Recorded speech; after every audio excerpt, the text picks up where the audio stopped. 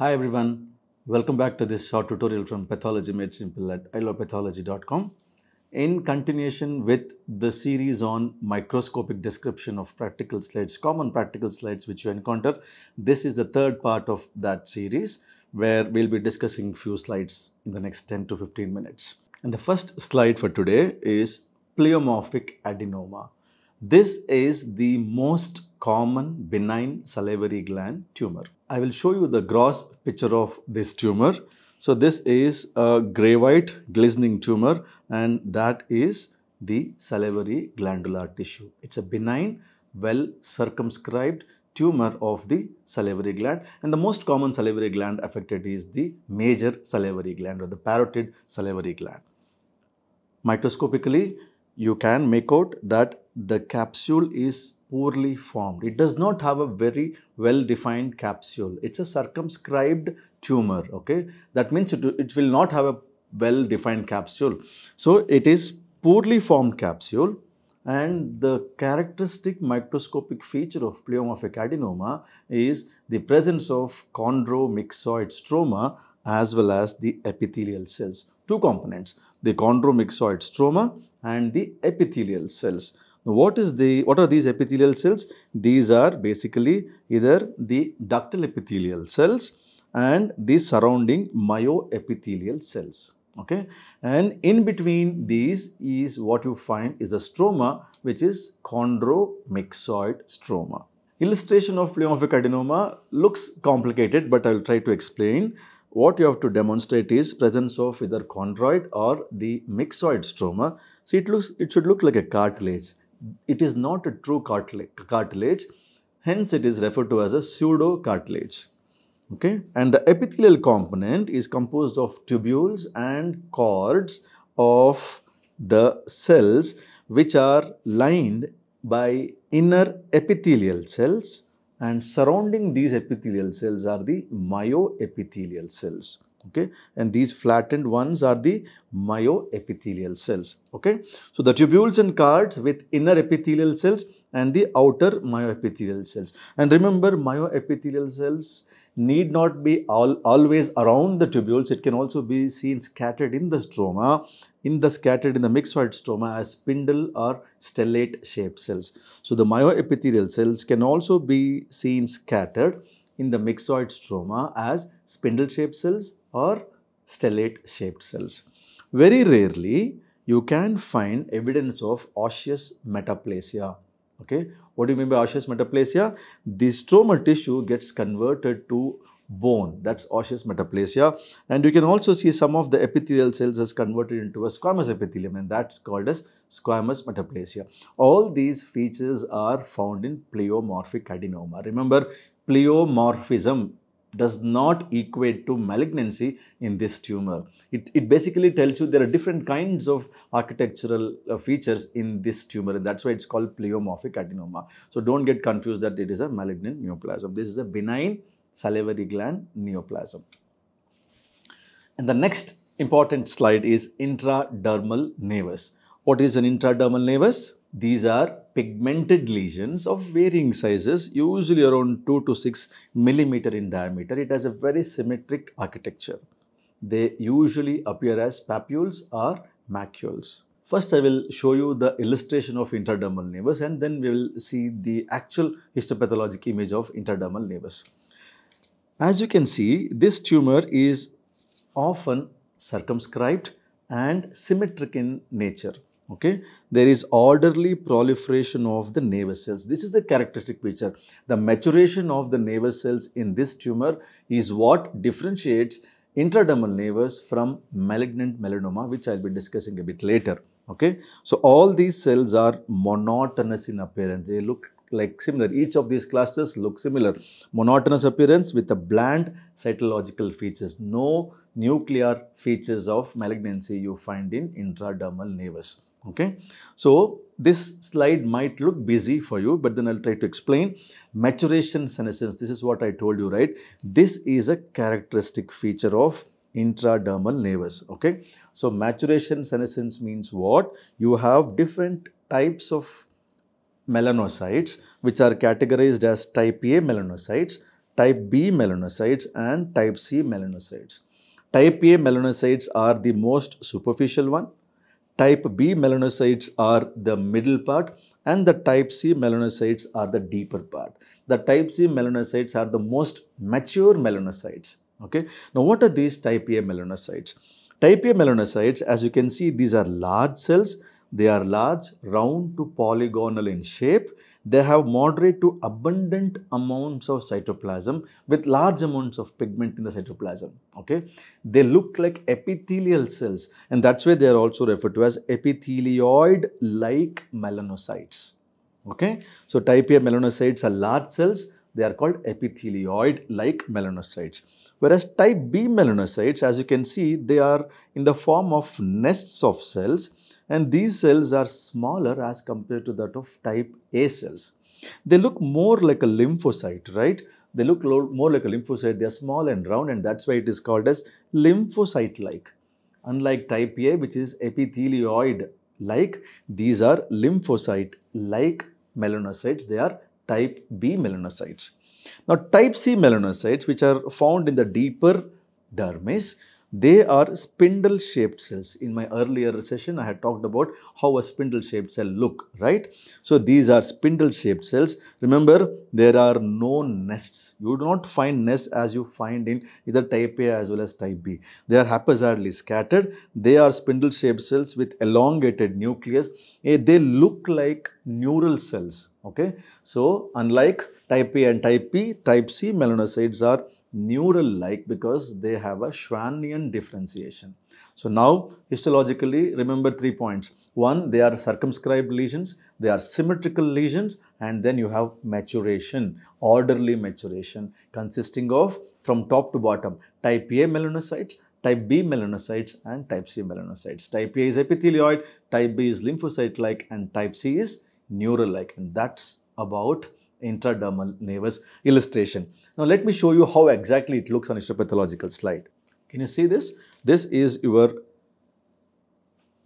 surface of skin with epidermis and this part is the dermis, right? And you can make out that in the upper part of this tumor, you find cells which are larger. In this part, you find cells which are much smaller and dot-like, lymphocyte-like. I'll just take you to the higher magnification. So this is the upper part of the tumor. These are type A melanocytes. Okay, nests of cells, large polygonal cells.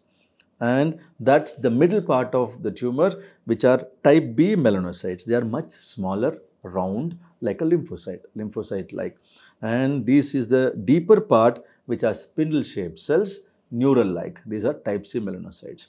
Okay, that's how intradermal nevus looks like. Okay, it's much simpler, symmetrical, circumscribed, type A, type B and type C. So that completes intradermal nevus. And my next slide is another important, another classical slide which is squamous cell carcinoma. Okay, we had talked about squamous papilloma in my earlier session, right? This is squamous cell carcinoma, which is a malignant epithelial tumor. How do you diagnose squamous cell carcinoma? What do you see? You should see pleomorphic squamous epithelial cells arising from the epidermis. So, this is your normal epidermis. You can make out that's your normal epidermis. From the normal epidermis, there is a tumor which is arising and then going deeper into the dermis right it is going deeper into the dermis in the form of sheets extension of the epithelium itself as well as in the form of nests and clusters of cells.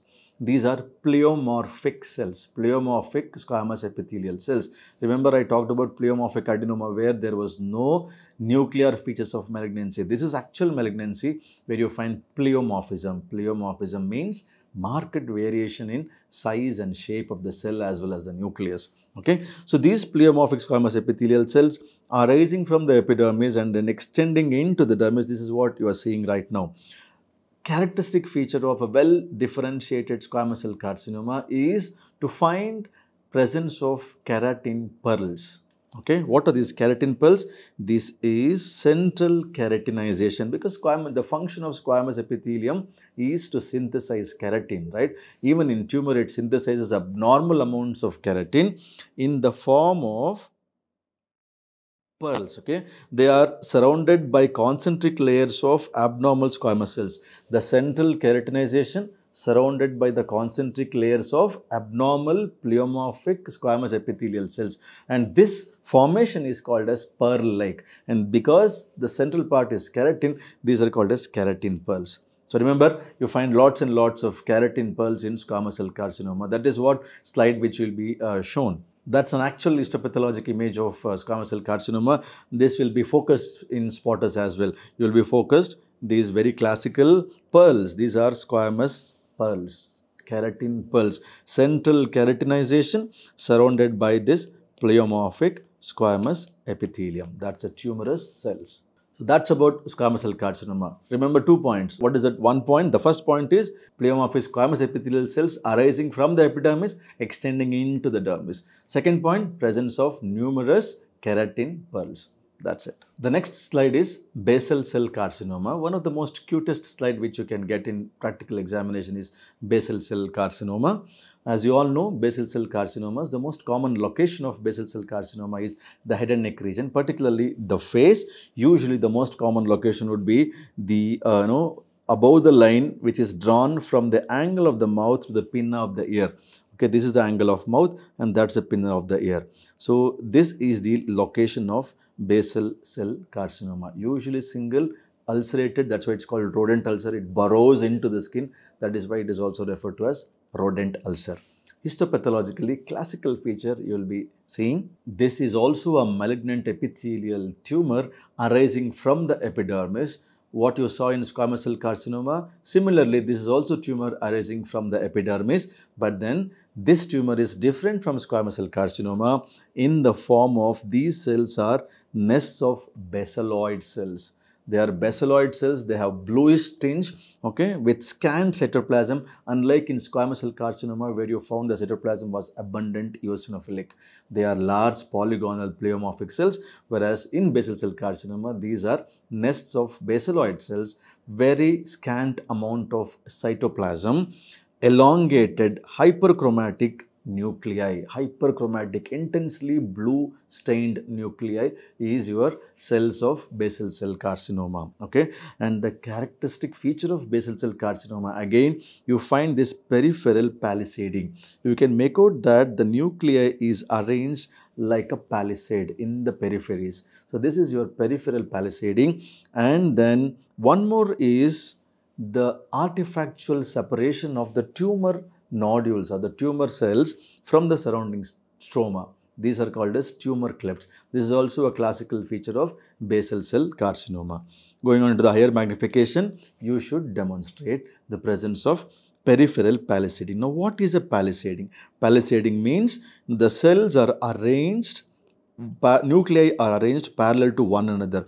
Palisade basically means a fence of wooden stakes or iron railings fixed onto the ground. Okay, it, it basically forms an enclosure. Similarly, even in basal cell carcinoma, the peripheral cells looks like as if it is forming an enclosure for the central cells, right? So that is a palisade, classical feature of basal cell carcinoma. Okay. Remember, basal cell carcinoma is also tumor arising from the epidermis or from the follicular epithelium as well as finding is presence of nests of basaloid cells with peripheral palisading.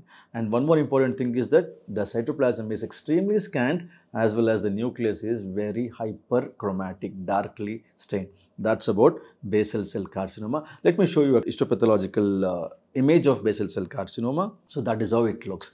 So this is your normal epithelium, okay, and that's your tumor. Tumor arising from the epithelium you can see the tumor arising from the epithelium here in the form of nests or islands. And each of these island you can make out that the periphery of the tumor island contains nuclei which are parallel to one another okay as if they are forming an enclosure of these central cells. That's your peripheral palisading characteristic histological feature you find in basal cell carcinoma and the last slide for today's session is malignant melanoma. We talked about intradermal nevus, which is a benign lesion. Now, this is a malignant lesion of melanocytes, malignant tumor of melanocytes. What we saw in intradermal nevus is orderly maturation. What we saw in nevus was circumscription, symmetric in location. All these are lost in malignant melanoma. All you see is nests of tumor cells and these tumors are large, pleomorphic, the nuclei are pleomorphic, variable, variable size and shape of the nuclei, prominent eosinophilic nuclei. Most characteristic feature of malignant melanoma cell is your nucleoli. They are eosinophilic prominent nucleoli. Cytoplasm is pigmented and you find features of malignancy. What are the features of malignancy? You find abnormal mitosis, you know, it's sheet-like growth. There is no orderly maturation just like what you saw in intradermal nevus, right? Very easy slide to diagnose malignant melanoma by sheer presence of pleomorphic melanocytes with prominent eosinophilic inclusion like nucleoli. That's important. Look at this. We saw the intradermal nevus slide. So this is a malignant melanoma slide. You can make out that's the epidermis and the whole thing is the tumor. Let me go to the higher magnification. They are sheets of cells. In between you can find this pigment and some of these cells also has pigment. That's the higher magnification of the malignant melanoma. Each of these. Can you make out the pleomorphism? Marked variation in size and shape of the nucleus. That's pleomorphism. That's the feature of malignancy, right? And you can find pigment here and there. And you can also find this nucleoli. That's the nucleoli. Inside the nucleus, you find these nucleoli. Very prominent nucleoli. Okay. So that is a feature of malignant melanoma. So that completes some of the important uh, slides for your general pathology practical class revision. In my next session, I will be talking about slides from systemic pathology. Till then, stay tuned. Take care. Bye-bye.